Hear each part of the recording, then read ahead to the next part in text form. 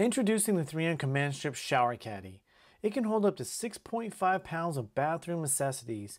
There's no tools required, no holes, no screws, and especially no nails.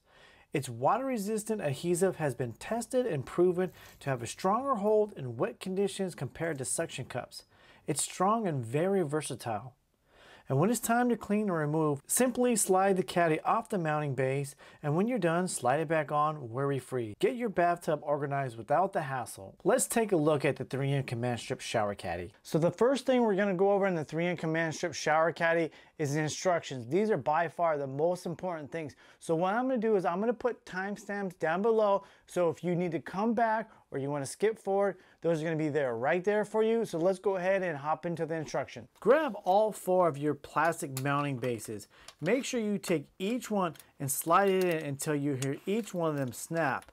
That means you are ready. This side of the command strip is going to mount to the wall. This side is going to mount to the plastic parts on the shower caddy. Next, you're going to remove the blue liner from each command strip. You're going to place one on each of the plastic mounting brackets on the shower caddy.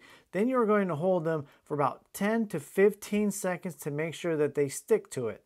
This could be a little tricky because these haven't stuck to the backs of them very well. So just when you're peeling them off, just be real careful you're not peeling the whole thing off. And what I typically like to do is I like to grab from the bottom right here and then I'll tear it, hold the bottom tab, pulling them right off. Because if you peel from the top, typically what will happen is this part, the corners will start to come with it and you don't want that to happen. Now we're gonna press on here for 10 seconds and also you wanna make sure what you do is you figure out the location and the height. Press here, one, two, three, four, or one 1000, however you guys prefer to count. We've done that. We're gonna lift off the shower caddy and we're gonna press onto the clips for at least 30 seconds to make sure that everything gets stuck on the wall and on the clips itself. That'll help make sure that it does not fall. While trying to put the shower caddy back on after we let it set for the 24 hours is that getting it on the clips, I find it to be a little bit difficult and I'm thinking because the shower is actually fiberglass, so it has bent to, it's not perfectly straight. So what I had to do is I had to kind of bend the shower caddy out and then push it so the hooks would sit right.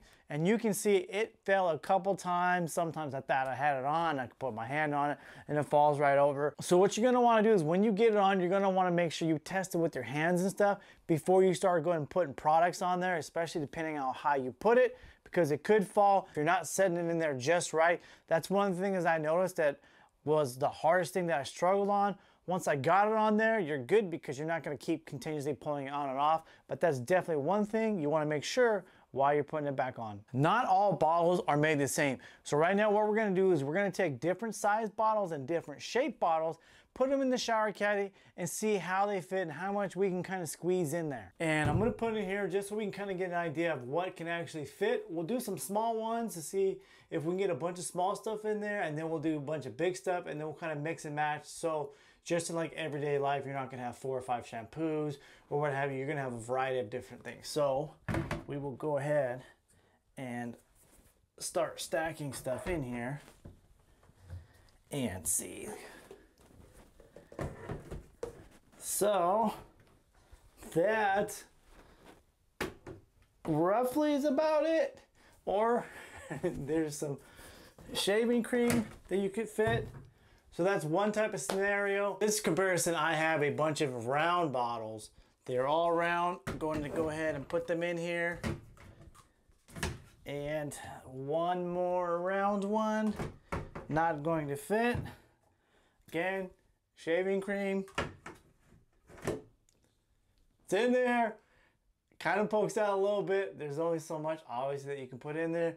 But I've seen this happen, so this should work. Get about four products in here, five if you're lucky. It all depends on the size of them. So far, testing this out and putting different stuff in here, a lot of weight on it, it's sticking really, really well. I don't know how many different 3M Command Strip shower caddies they make, but some of the Amazon comments said that it there's no hole at the bottom and that it would fill up, the water be all gunky and nasty. But I want to show you that this one does have holes at the bottom, water can pour through. The 3M Command Strip Shower Caddy has been working out really, really well. My girls are putting stuff on it when they shower. It hasn't fallen off yet.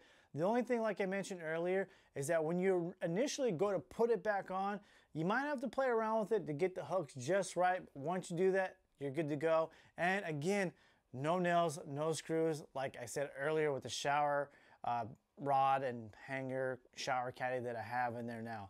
That's the only downfall that I have. And what I do like about this is that it's compact. It can hold about three to five bottles depending on the shape and size, but you can always add more. And again, no hole. But make sure that you are following the instructions. The instructions on the 3M Command Strip shower caddy are different than if you are actually doing 3M Command Strips themselves. A lot of people have issues with that. So that's why I made a video right here for 3M Command Strips, step by step, how to put them on so you can be successful with putting them on and not having stuff fall off your wall and there's plenty of timestamps for you to hop back and forth. Thank you guys so much for tuning in. If you want to help support the channel, make sure you smash that like button. Also, if you want, purchase an Even Vibes t-shirt. The link will be down there and below. Help support the channel. Thank you guys so much for tuning in as always and I'll see you on the next one. Peace.